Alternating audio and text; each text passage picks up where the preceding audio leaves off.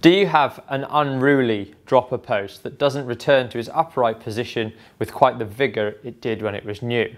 Today I'm going to show you how to bleed and replace the oil in your reverb post. Things you will need.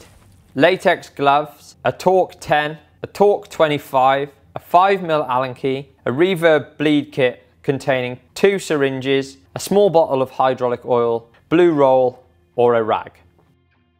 So first thing you need to do is take the remote and move it to get the bleed nipple as high as possible. Wind the speed adjuster barrel counterclockwise all the way out. Okay, so the next step is to locate the bleed nipple on the seat post. For a standard seat post, it would be up here with external routing, but this is a stealth one, so it's located on the bottom of the seat post, which is obviously inside of the frame. So undo the seat post with my 4 mil and carefully try and thread the cable through to give us enough slack that I can get to the bleed port here. You will notice that I've had to move the shifter over so I can give myself a little bit more cable to be able to do this. So the next step is to fill the syringe with reverb fluid. You're looking to fill the syringe about three quarters full. At this time you can choose to wear some latex gloves because the fluid can be harmful to your skin. So just like you see your local doctor doing, we need to remove that little bit of air that has been drawn in through the syringe. So just get your rag on the end, give it a bit of a squeeze. Carefully remove the bleed screw from the remote. I'm using the a T10 Torx, just shouldn't be too tight. Make sure that you do set this to one side. I've got a bit of rag here. So now you're ready to insert the syringe into the remote. So now we're going to remove the bleed screw from the bottom of the seat post. Now put the bleed screw to one side and connect our empty syringe carefully thread it into the bleed screw port. So now we're ready to start the bleed process. From the remote, we're going to uh, push the fluid through here while pulling on the seat post syringe to pull the fluid through. When pushing the fluid through from either end, in this case the remote, Make sure you don't push it until it's got no fluid left at all because then you'll be forcing air into the system. So I'm flushing the system through here with the oil. I'm going to push the oil back through from the seat post up to the remote. So you want to keep flushing the fluid through the system until no more bubbles appear. So we flushed that through several times and the bubbles seem to have disappeared. What we're going to do now is force the fluid from the seat post up into the remote so we can continue bleeding from the remote end. So now we have majority of the fluid up here in the remote. We can remove the syringe from the seat post and replace the bleed screw. Do have a bit of rag on hand to get any fluid that may just drip out carefully replace the bleed screw.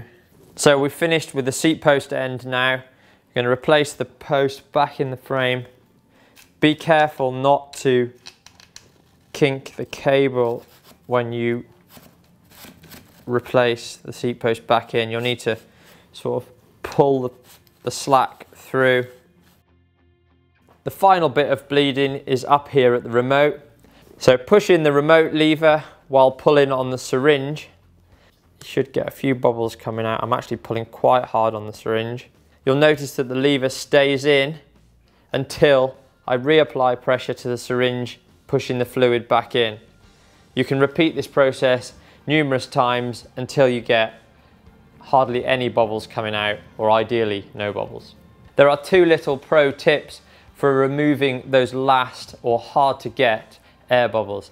Tapping the cable is one, and also just in your bike stand, get the remote a little bit higher.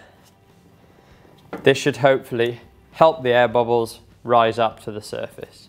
So last thing to do before you remove the syringe is just push on the syringe, making sure the system is full, ready for you to take the syringe off. So I can't get any more oil into there.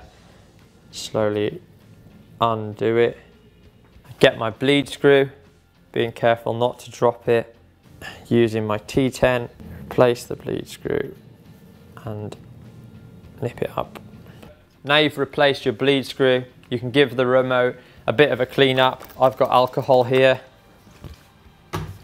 It gets any of that excess fluid off and leaves it nice and clean.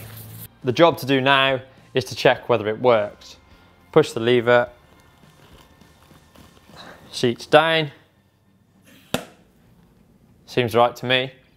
So I have my remote set up in the correct position and just remember that we wound the speed adjuster out so it was at its slowest to bleed the system.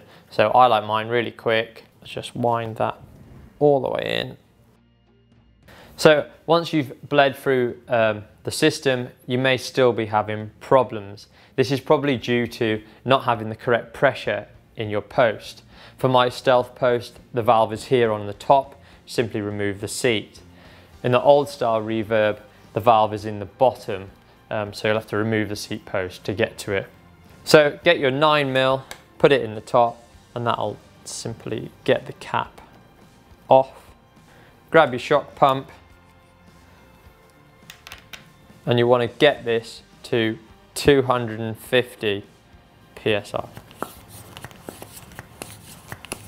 There you go, get it to 250 and that should solve your problem.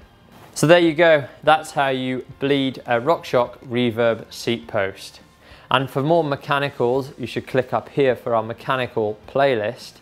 And if you want to know the sort of comparison between seat up and seat down on your mountain bike, you should click just down here.